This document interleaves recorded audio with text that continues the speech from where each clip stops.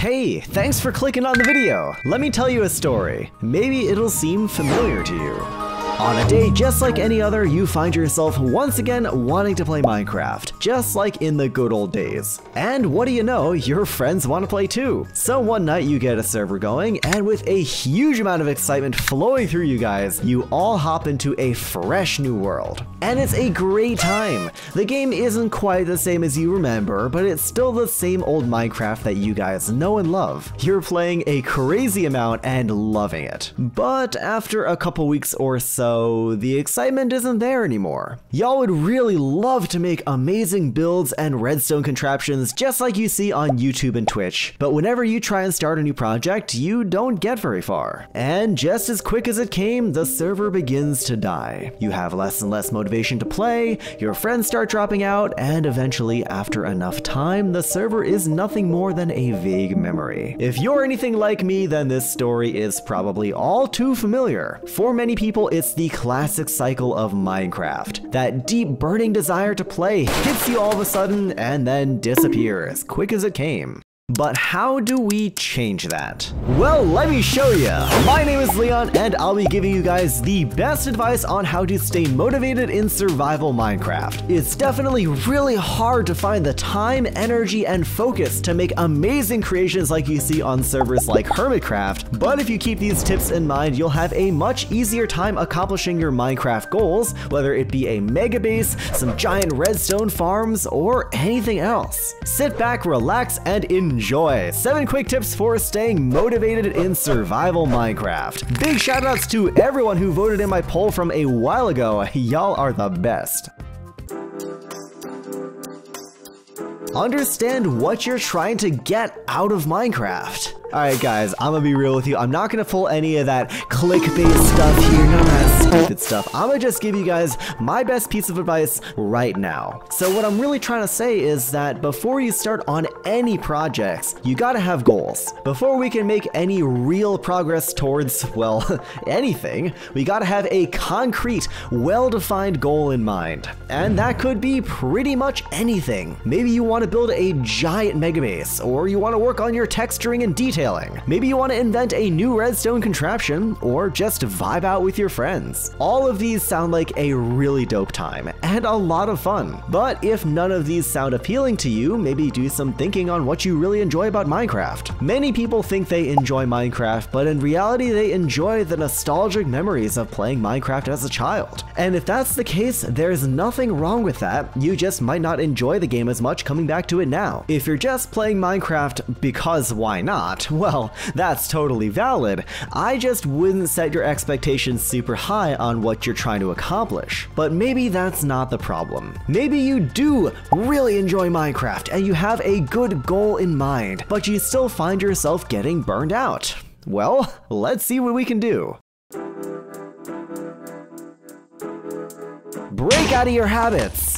Minecraft is an old game, and even though this game has changed a lot since 2009, I can't always say the same about its players. One thing that I've noticed from playing Minecraft with a lot of my friends is that a lot of people fall back on old habits really easily. Especially if you've owned the game for a long time, I bet that you have a specific way that you always play Minecraft. You build a certain way, you farm certain crops, you live in certain biomes, your house probably is in the same general style, and that's okay. But if you're feeling unmotivated, and you're also not taking advantage of newer features, then it's probably time to broaden your horizons. I've seen so many times people will pick up the game again and just play it like it's 2012 all over again. And I'm sitting here thinking like, hey, you know they've added stuff to the game in the past 10 years, right? Like, you don't need to branch mine, farm wheat, build up your little rectangle oak wood and cobblestone house. Like, if that's your thing, I'm not gonna stop you. But if you want to enjoy this game for longer,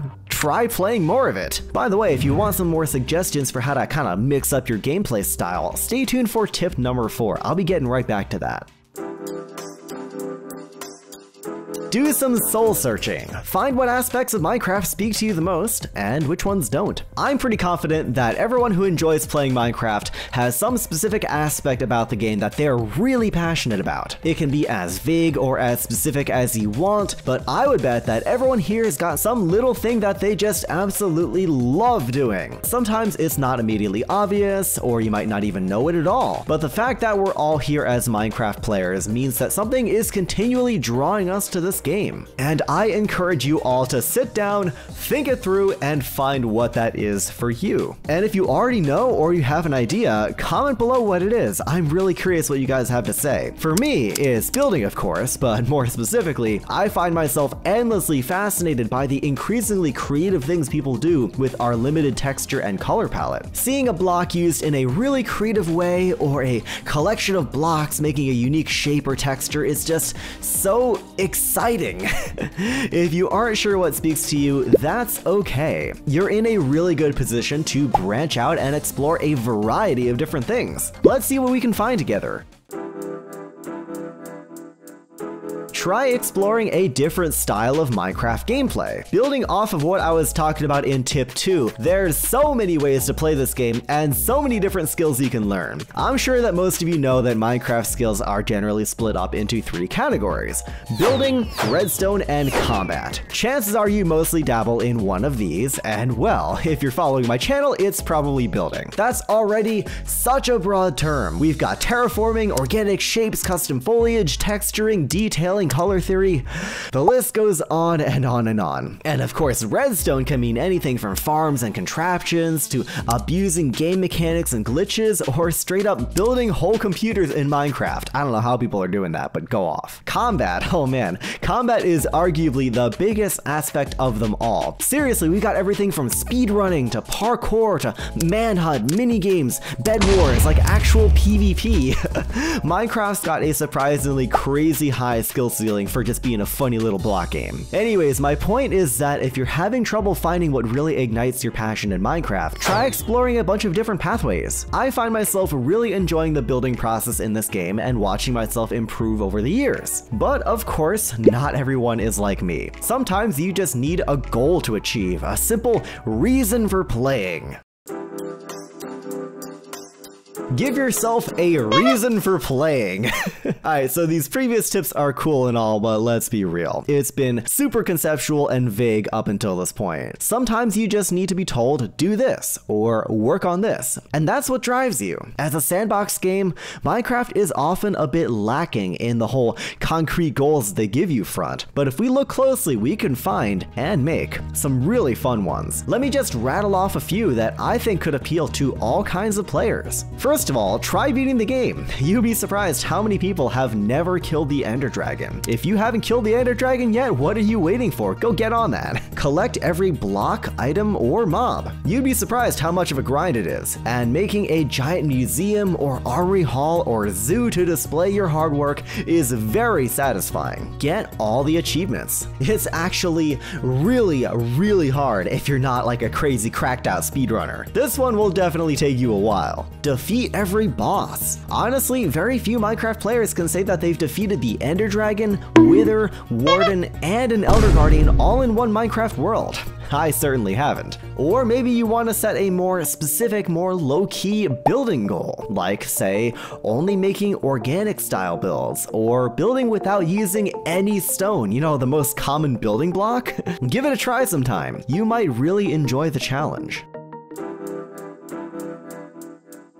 If you feel like Minecraft is too slow for your liking, then try to optimize your routine. Kinda like what I was talking about before with people playing the game like it's 2012, I really want to mention how they've added so many cool features and mechanics that really speed up the game. After all, if you're just trying to make cool builds, you don't really need to play through the early game. Things like bone meal farms, villager trading halls, shulker farms, elytra, dye farms, concrete makers, piglin bartering stations, and many other little techniques all exist to get you more items more quickly. No one likes to have to manually gather materials by hand, it's boring. So if you're still farming stone, concrete, bricks, or whatever other common materials the old-fashioned way, give some thought to these newfangled techniques. They really might save you a ton of hours.